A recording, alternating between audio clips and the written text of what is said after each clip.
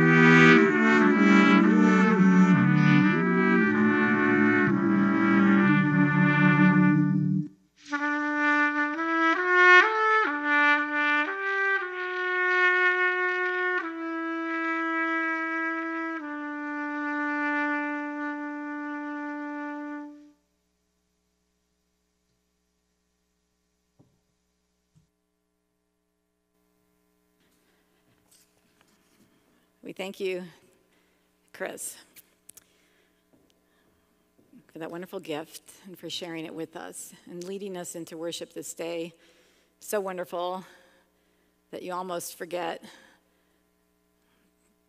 why we're here and what we need to do because it fills you so much and leads us to Jesus. We thank you.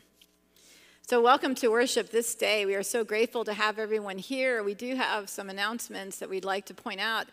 There are activities happening in the life of this congregation. We point you to our Wednesday email for the latest information. And I'd like to highlight a few things with regard to worship. The drive in service will end our season. Uh, the end of October, we do uh, give thanks to Lori and to Frank for their wonderful gift of hospitality uh, for their grace and for their kindness in allowing us to be uh, at their space, weather permitting, every Sunday since May, which is amazing. Um, November 1st, Bill Henderson will preach at our regular 9 o'clock time uh, here on our YouTube channel. And then on November 8th, we will move our time and a bit of our um, a bit of our format to 9:15. We'll have a time of announcements and a time of contemplation, a time of getting ready for worship, which will commence live on our YouTube live channel. You'll find us there at 9:30. We'll have a time of worship, uh, of joy, of remembering God's faithfulness together as a community of faith. Please be aware that there will be some Zoom uh, watch parties set up so you may see other folks on your screen even as you watch our service online. We are excited to bring that to you so we may foster our sense of community together. And with that, let us put aside our announcements. Let us call ourselves to worship using Psalm 99. The Lord is King. Let the peoples tremble. He sits enthroned upon the cherubim. Let the earth quake. The Lord is great in Zion. He is exalted over all the peoples. Let them praise your great and awesome name. Holy is he. Mighty King, lover of justice, you have established equity. You have executed justice and righteousness in Jacob. Extol the Lord our God. Worship at his footstool. Holy is he. Let us worship our God. Let us pray. The Lord our God, your desire for us, your children, is that we be made holy, set apart. We thank you for your faith in us, your hope for us, which far exceeds our own faith in or hope for ourselves. We thank you as well for the guidance you have given us, the laws and statutes and commands that show us the way, that explain your will. And we thank you for those to whom you have given your words, the prophets who risked so much and endured so much in order to live into the call you placed upon them. We have not always been grateful, and we have not always been willing. Yet you remain faithful and hopeful that we will receive with receptive spirits that which will help us to live well with you and one another. It is quite the treasure. It is all the wealth we need. We are grateful. Amen.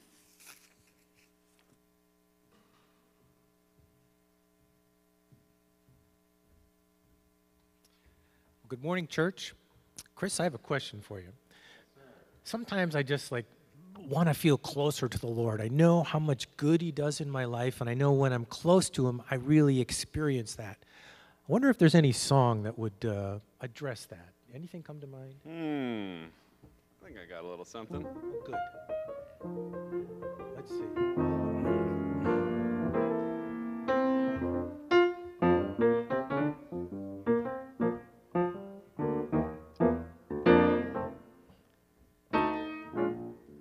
I am weak, but thou art strong. I think you know this one. Jesus, keep me from all wrong. You don't want to be wrong now.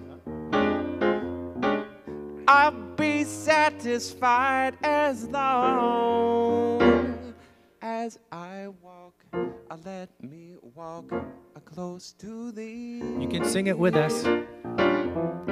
Just a closer walk with thee. Granted, Jesus is my plea. Daily walking close to thee. Let it be, dear Lord, let it be. Through this world of toils and snares, if I falter, Lord, who cares? Who with me my burden shares? None but thee, dear Lord, none but thee. Just closer walk with thee. Great Jesus is my plea. Daily walking close to thee. Let it be. dear Lord, let it be. When my feeble life is o'er, time for me will be no more. Guide me gently, safely o'er to thy kingdom shore, uh, to thy shore. Just a closer walk with thee. Hope you're singing along now at home. Granted, Jesus is my plea. Daily. Daily walking close to thee. Let it be, dear Lord. Let it be, dear Lord. Let it be,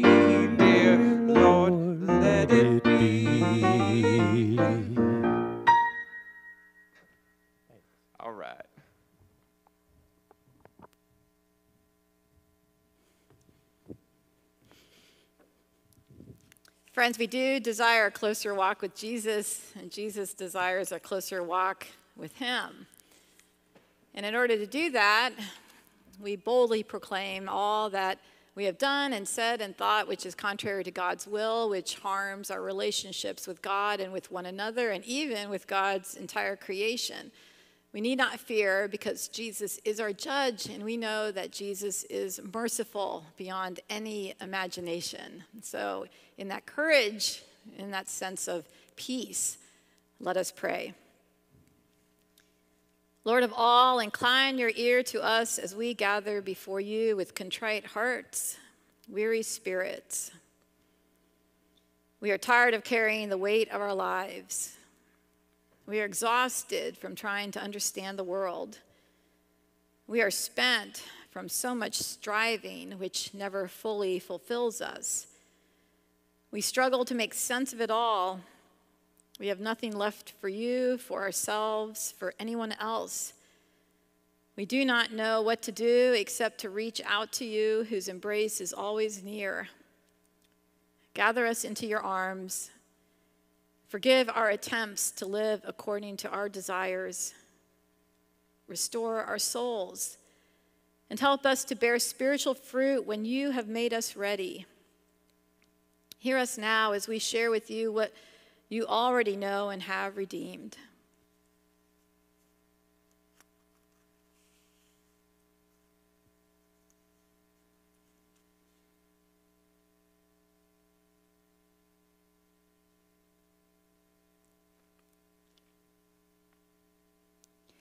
And the people said, Amen. My friends, may the God of mercy, who forgives all our sins, strengthen us in all goodness, and by the power of the Holy Spirit, keep us in eternal life. Remember always that in Jesus Christ, our Lord and Savior, we are forgiven. Thanks be to God. And in that gratitude and thanksgiving, we know that we are reconciled not only with God, but with one another. And so, in that reconciliation, let us proclaim that the peace of Christ be with you and also with you.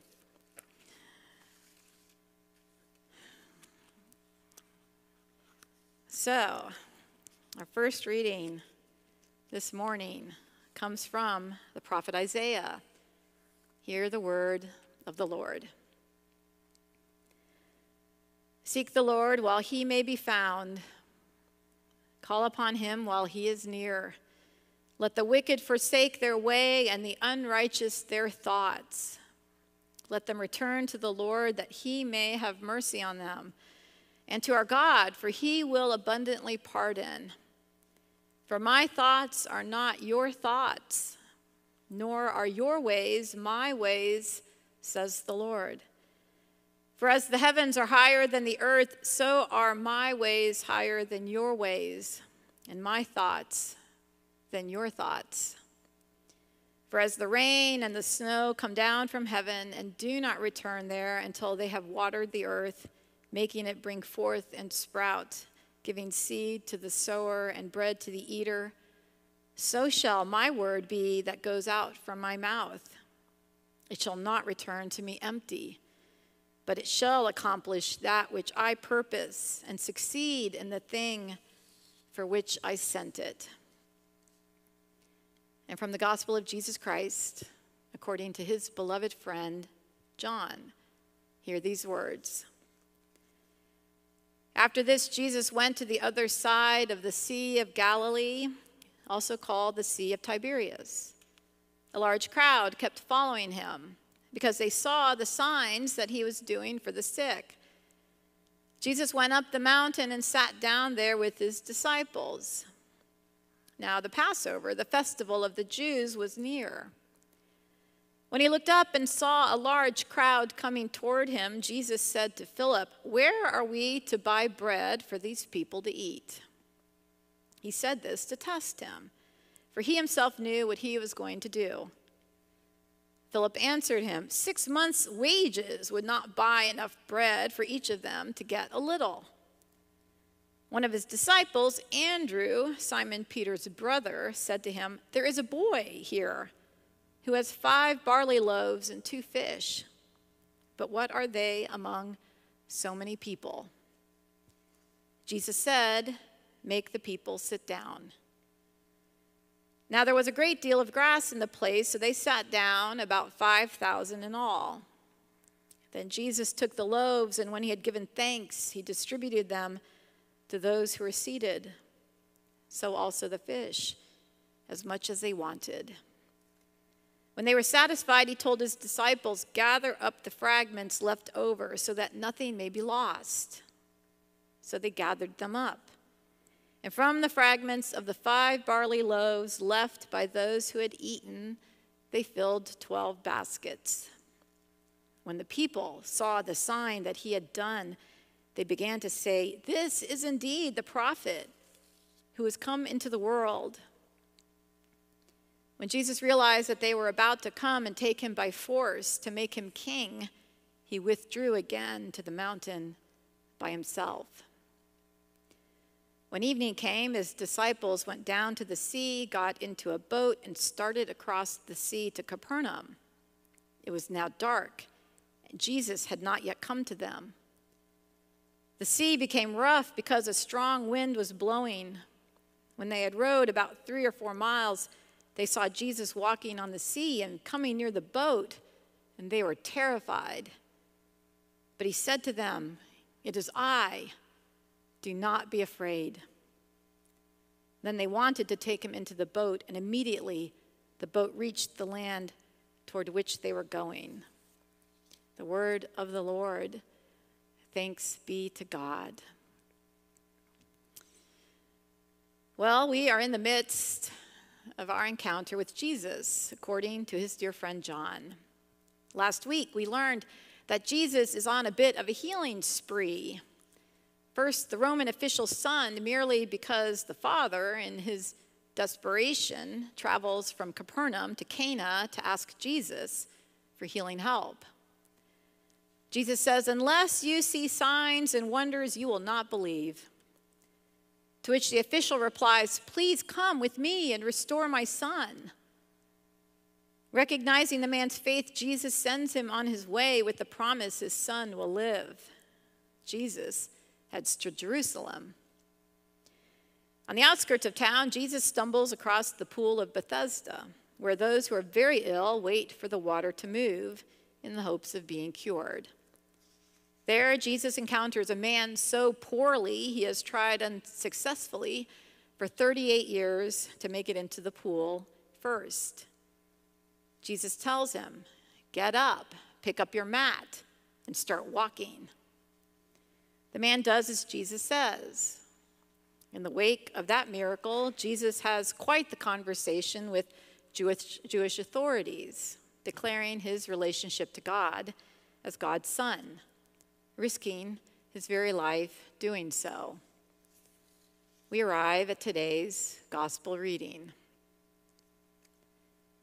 Jesus has left Jerusalem, putting the Sea of Galilee between him and certain death.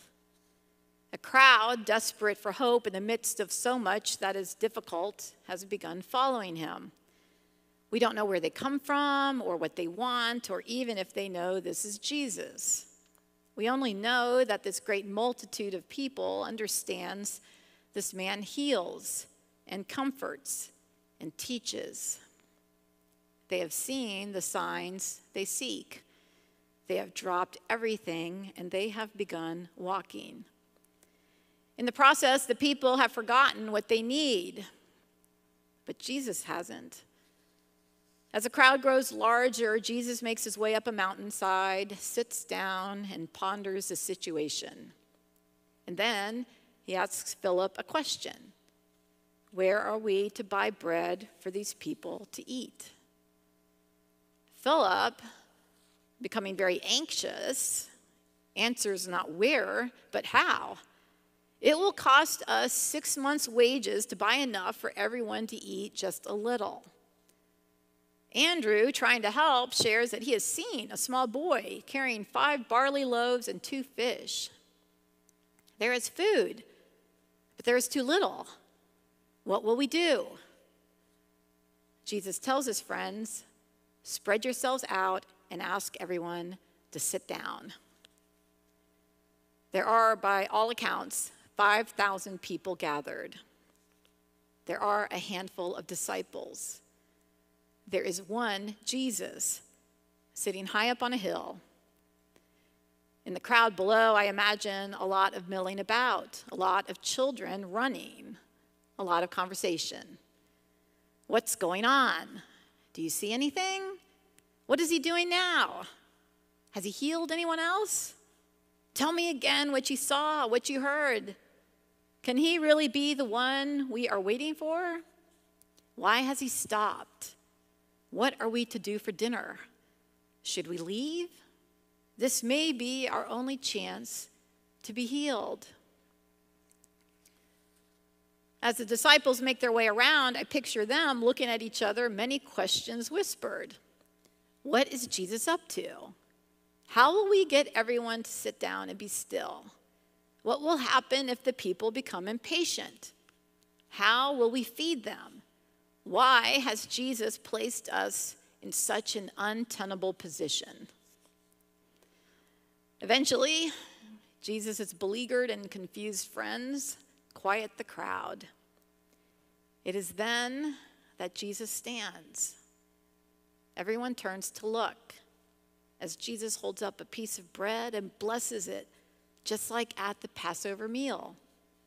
Jesus places the bread and fish in baskets, directing his friends to hand them out, inviting everyone to tear off whatever they need to eat to be full.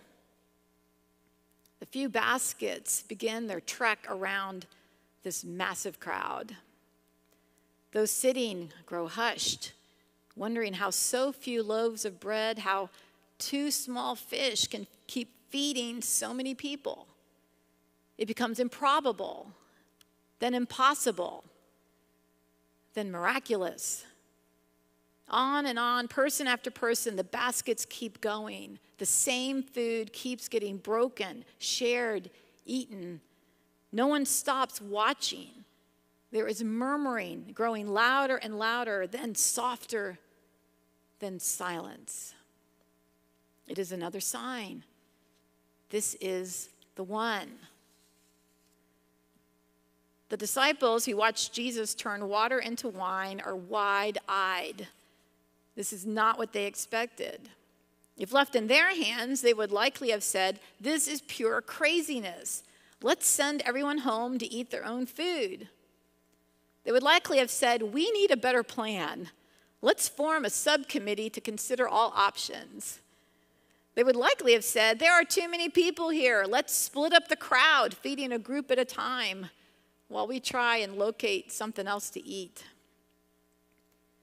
They would likely have said, Well, next time we'll be more prepared. We'll ask for donations, then send word to the next town to make sure plenty of food is available, packaged to go. They would likely have thought and said and done all sorts of things that would have taken away from this most holy, incredible moment. But they don't.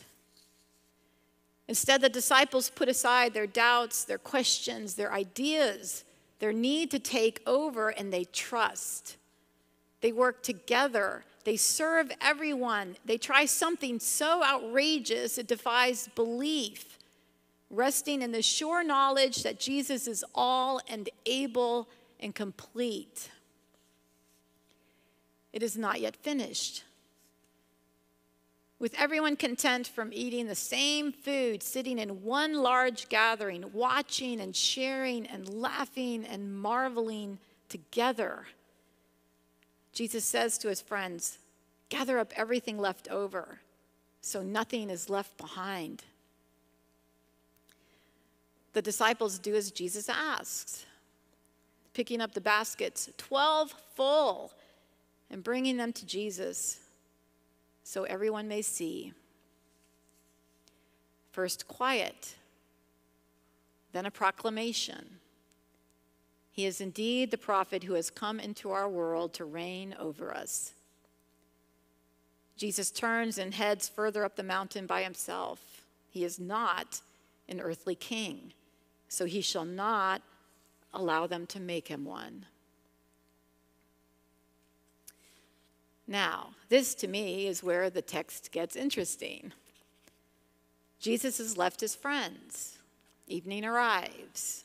The crowd has settled down for the night. And so, what did the disciples do? They leave in a boat to cross to the other shore without Jesus. It is late and it is dark. The fishermen and the group are rowing. Suddenly, the wind picks up. This must be a surprise, as those who spend their lives on this very sea are used to discerning the weather's mood. Conditions worsen. The waves swirl, crashing against the boat. The landlubbers begin to panic. They are miles from any shore, too far away to do anything but keep going. The fishermen strain, fighting the strength of the water. They wonder if they will survive. They have forgotten what they have learned about signs, about belief, about being still, about miracles taking place without Jesus even being present. And then there's Jesus without a word or warning, walking heading near them.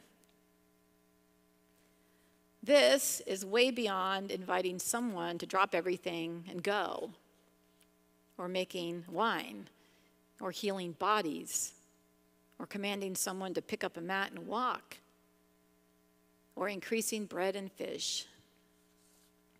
This is terror and confusion and disbelief. And all Jesus says to this motley band the regular guys is It is I, the Son of God. Fear not. Be not afraid of great waves and fierce wind that could overturn your vessel. Be not afraid of a noisy, hungry multitude who could use some food even more than healing. Be not afraid of person after person suffering in every way imaginable. Be not afraid when the storms of life emerge out of nowhere, threatening to undo you. Be not afraid, for I will help you.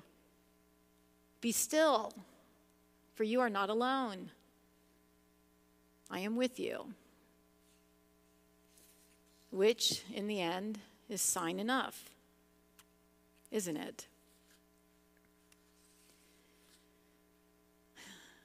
There is a story from China as told to Carl Jung by theologian and Chinese scholar Richard Wilhelm, which expresses this well. It is called The Rainmaker and has been adapted and retold many times over since Jung first heard it in the 1920s. Here is Dr. Irene Claremont de Castillo's consideration. In a remote village in China, a long drought had parched the fields.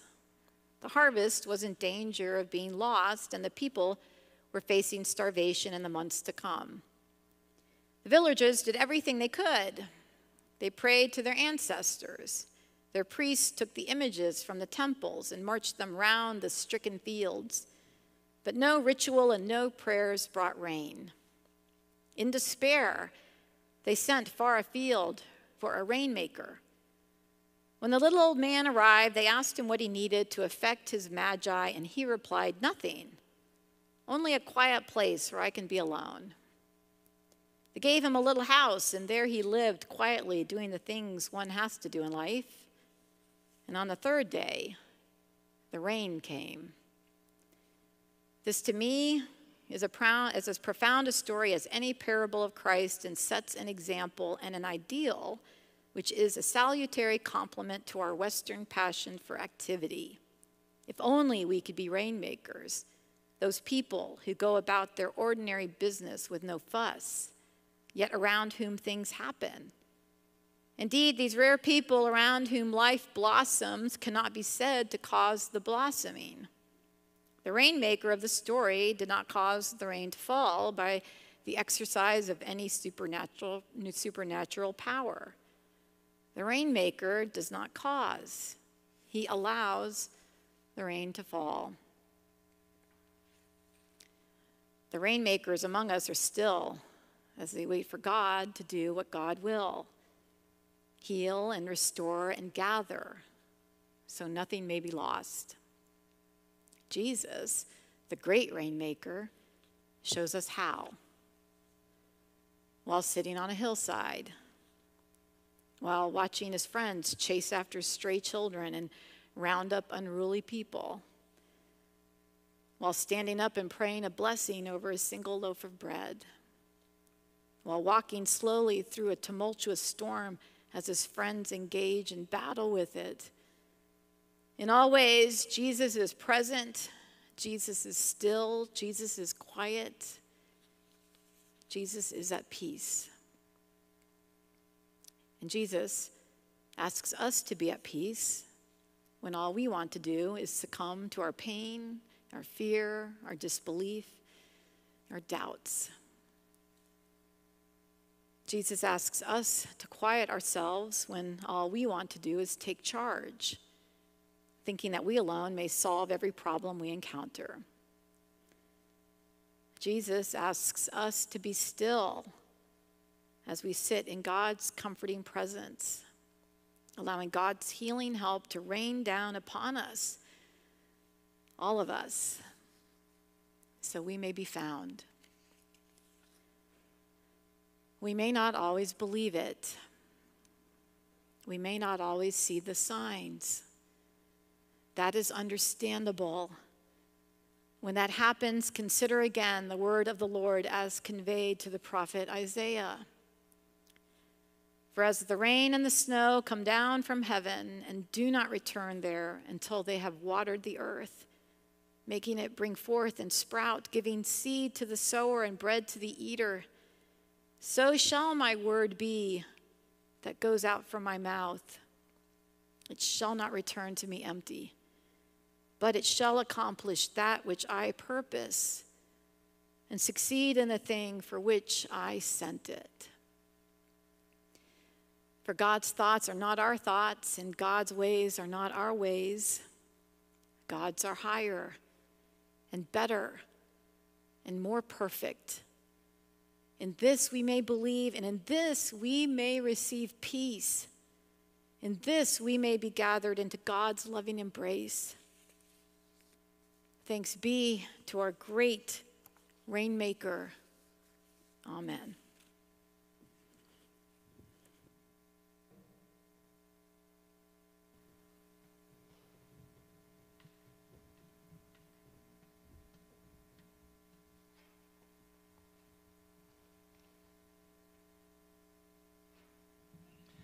This next song, Give Me Jesus, was written and sung by slaves in the pre Civil War South. These are people who knew suffering like none of us know. And Jesus was enough for them. And that's the same Jesus that Pastor Kim just talked about the one who walked on the water, the one who fed the 5,000. He was enough, and He is enough for us. Give us Jesus.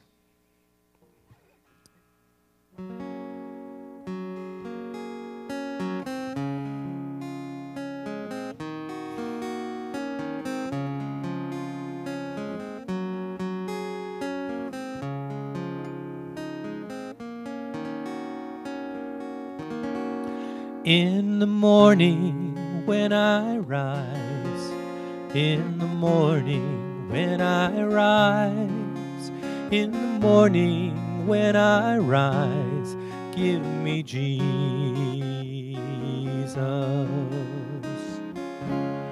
Give me Jesus. Give me Jesus. You can have all this world, but give me Jesus.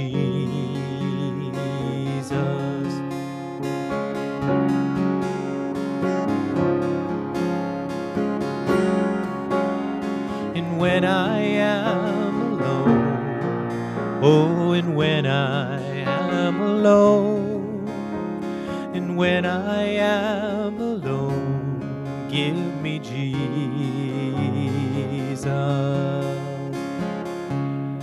Give me Jesus. Give me Jesus. You can have all this world. Give me Jesus.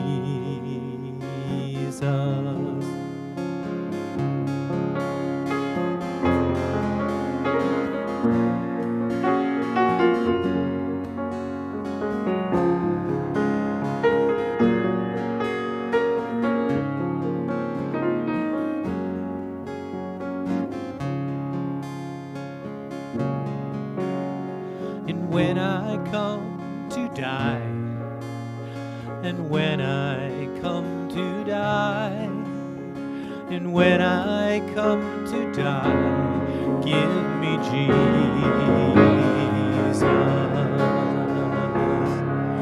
Give me Jesus.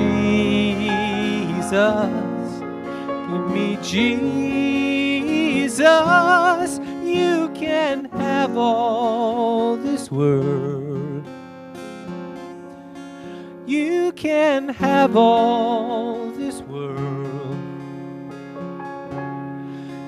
can have all this world, but give me Jesus.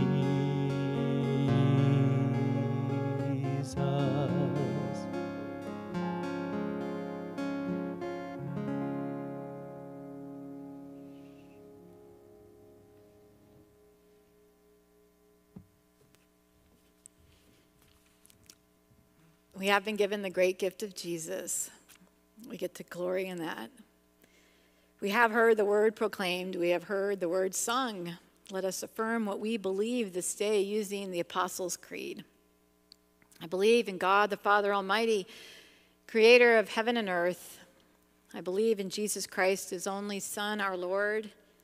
He was conceived by the power of the Holy Spirit and born of the Virgin Mary. He suffered under Pontius Pilate, was crucified, died, and was buried. He descended to the dead.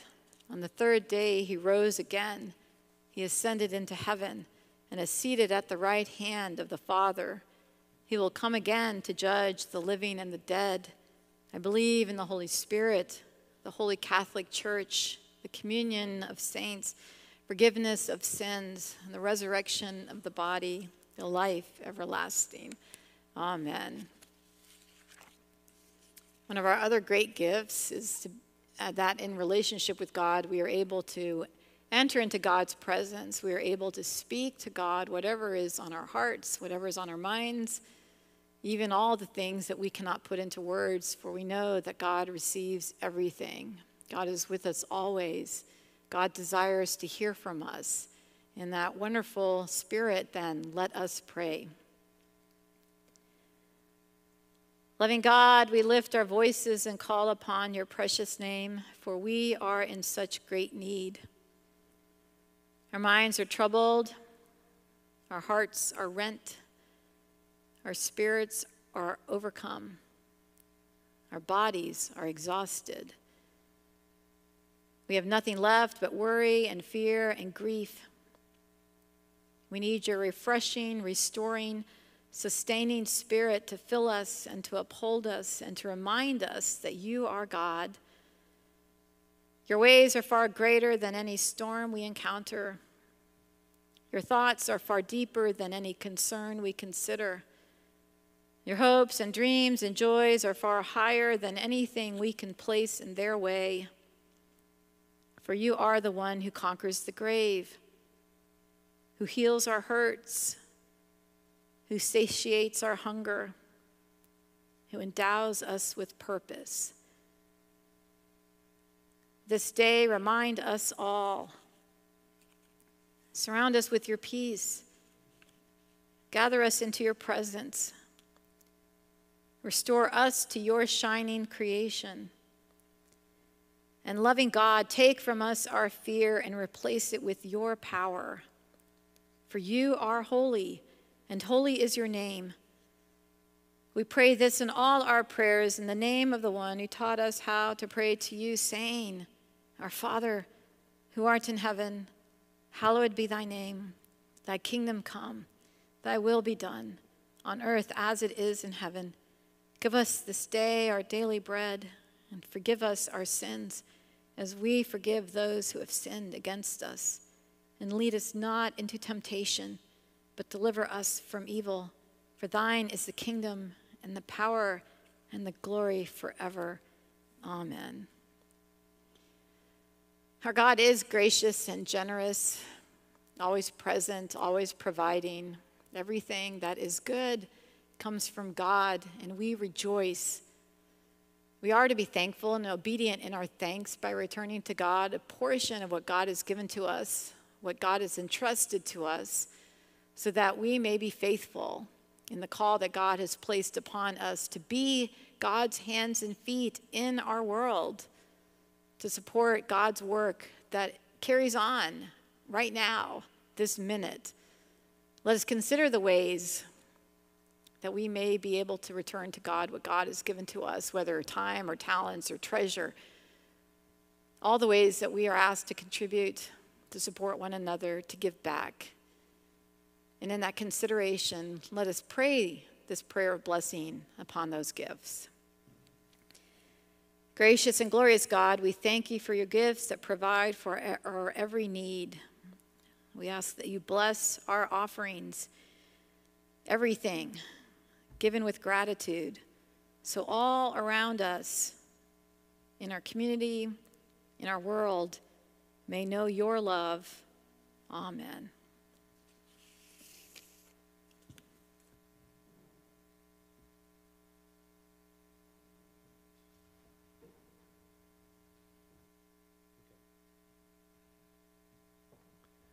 There's something wonderful about knowing that we are singing the same songs that our brothers and sisters, hundreds and even thousands of years before sang, at least some of the same words.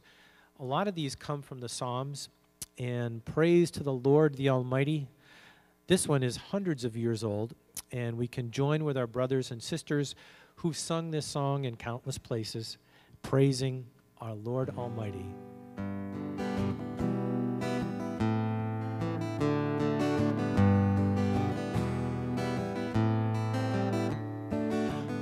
To the Lord, the Almighty, the King of creation. O my soul, praise him, for he is thy health and salvation. All ye who hear, now to his temple draw near. Praise him in glad adoration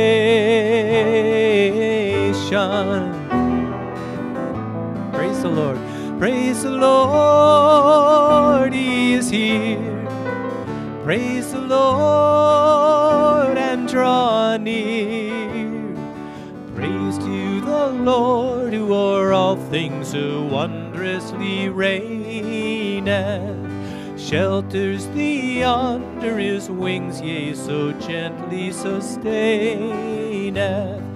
Hast thou not seen how thy desires have been granted in all he ordaineth?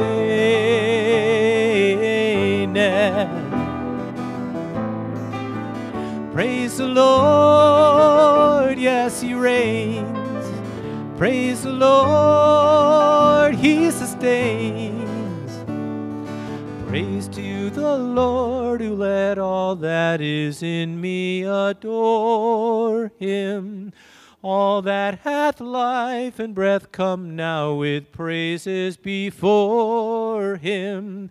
Let the Amen sound from His people again gladly for all we adore him. Praise the Lord, we adore. Praise him forevermore. Praise the Lord. Praise the Lord.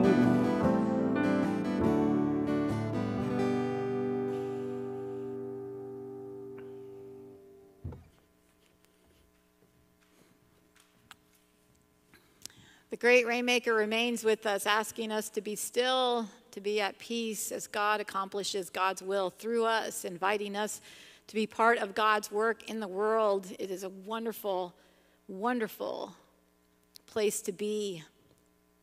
We are grateful for that trust. And now, may the grace of the Lord Jesus Christ, the love of God, and the fellowship of the Holy Spirit surround and carry us into the world this day and always. Amen.